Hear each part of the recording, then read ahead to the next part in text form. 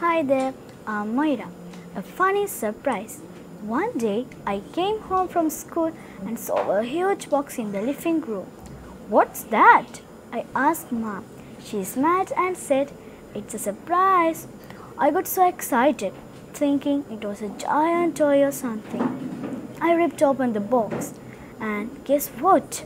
A balloon popped out and hit me right in the face. I screamed, oh, but then I started laughing. Is this my surprise? I giggled. Mom said, Well, it is. It wasn't what I expected, but it sure made me laugh. Thank you.